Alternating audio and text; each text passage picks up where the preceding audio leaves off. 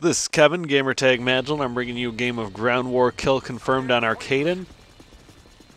I'm running with the PM9 with two attachments, which are rapid fire and extended mags, which is the key to making this gun good. I don't, I don't really know if good is the right way to describe it, but uh, at least a gun that can compete with the other ones. Here I'm aiming down sights with the gun, and it's really bad, as you can see as I just hip fire that guy easier than when I'm aiming at him. And that's one of the keys to using this gun, is not aiming down sight and relying on hip fire. It's got a lot of really bad visual recoil, and it's just not worth bothering trying to. And it works really well once you've got rapid fire and extended mags, uh, just hip firing it. It's got the fastest rate of fire of the submachine gun, so once you throw rapid fire on there, it really starts kicking out the bullets. And it can do some it can do some work with these two attachments.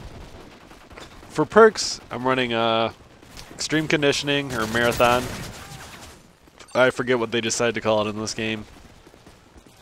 Hardline Pro and Steady Aim Pro, and as you'd guess from a gun you rely on hipfire with, uh, the Steady Aim is the key component in the class.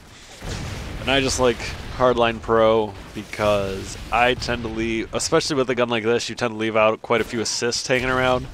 So sometimes it's nice to start with that one kill already on your way to the uh, kill streaks.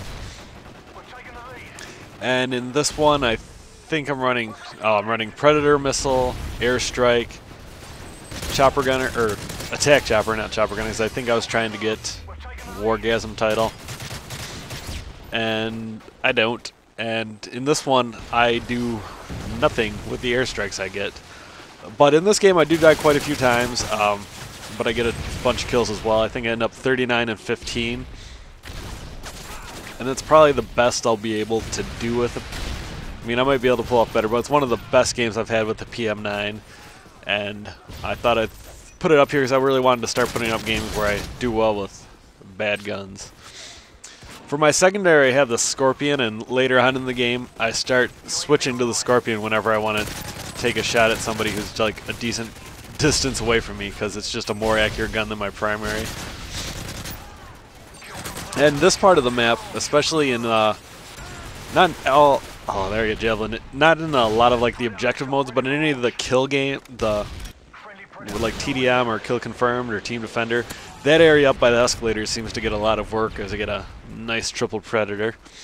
Those are always really satisfying, and a, lot of times I don't do well with my predator missiles on Arkaden because I'll see the red dots over in this area and they'll actually be underneath instead of uh, above where I think they are, and I'm hoping they are to get the kill. Here I let my teammate die because I need to finish reloading. And I think in this game I do fairly decent job of confirming kills, that except for like my uh, kill streak kills. Those ones kind of get left on the table, which is the problem with most the, with lethal kill streaks. And here I just get lucky, kind of. I don't know. I smartly escaped. I wasn't lucky.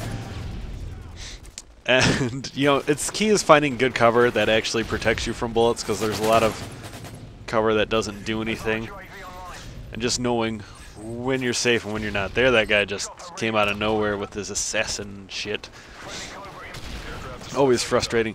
Here, I don't understand. I put it over the mall. I know there are holes in the roof of the mall. I know they're over in the mall area.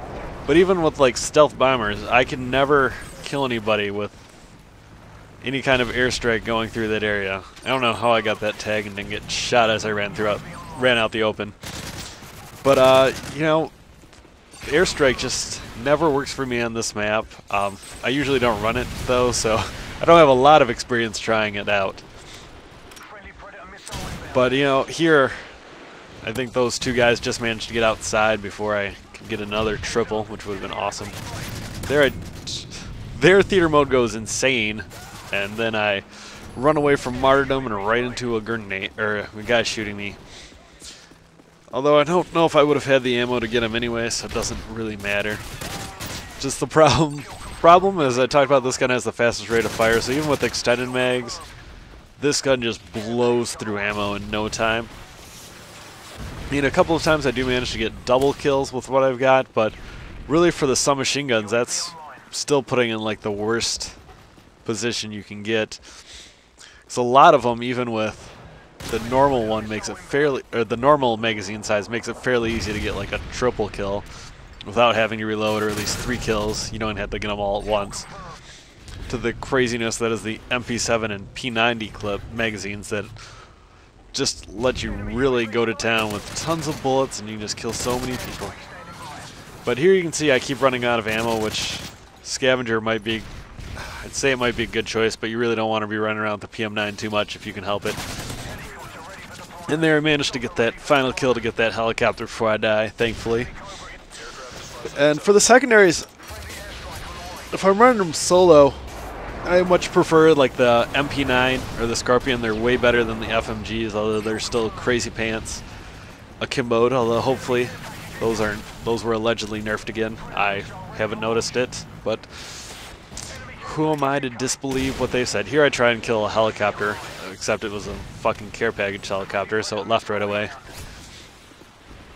But we're coming up near the end of the game, and I'm gonna keep running around crazy pants trying to shoot people with this gun, and it's got a really crappy range. Well, there I just never had a chance. But it really, you really have to play to its strengths. It's a lot like a shotgun in that respect. There's where I get sniped from there. That you really have to know and play it much smarter than a lot of the other guns. Here's with the other submachine guns, you can just treat them like normal. So here we get to watch somebody get a collateral and then another kill for the final kill cam, which is pretty sweet. So uh, I go 39-15, and I hope you guys enjoy the game.